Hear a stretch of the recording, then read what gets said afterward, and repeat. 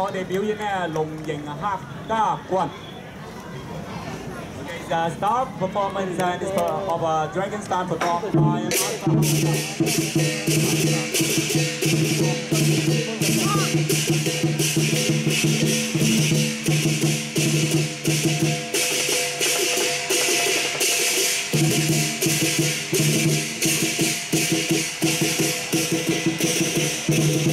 Thank you.